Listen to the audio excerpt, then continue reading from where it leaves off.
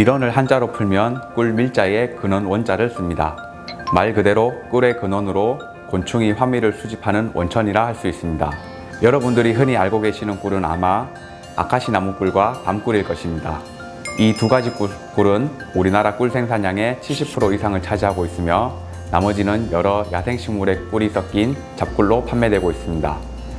우리나라의 밀원 수종으로는 아카시나무, 밤나무뿐만 아니라 헛개나무, 시나무 등도 매우 좋은 밀원 수종입니다. 좋은 밀원 수종이 되는 요건으로는 꿀이 많이 생산되는 나무, 일정한 계약일을 유지하는 나무, 고품질의 꿀이 생산되는 나무, 관리 유지가 용이한 나무, 미관상 아름다운 나무 등입니다.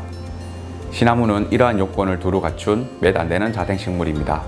시나무의 영명은 비비트리로서 북에서도 꿀이 많이 생산되는 나무로 알려져 있습니다.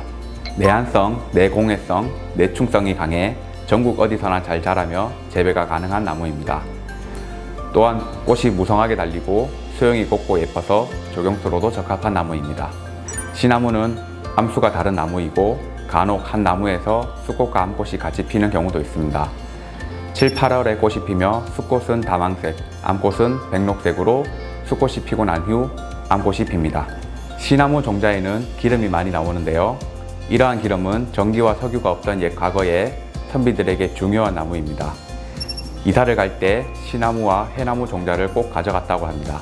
시나무 기름은 불꽃이 맑고 그름이 거의 없어 공부방에 호롱불을 밝히는 유용한 기름입니다.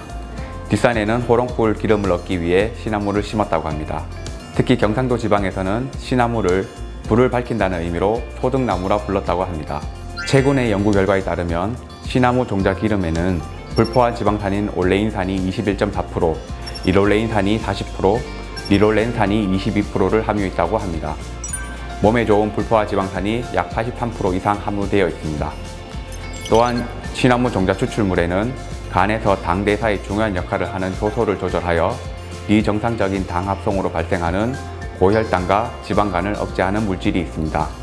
이러한 연구 결과에 따라 시나무 종자 추출물은 당뇨병과 비알코올성 지방간 치료제 개발을 위한 천연물 소재로 활용될 것으로 기대되고 있습니다. 국립산림과학원에서는 토종 벌꿀의 브랜드화의 가능성을 제시하고 연중 채밀이 가능한 고정식 양봉을 위한 번역별 밀원단지 조성을 통해 지속 가능한 양봉 농가 소득 및 가계 안정을 도모하겠습니다. 산림 양봉 복합 경영 생산 모델을 통해 체험형 6차 산업을 유도하겠습니다.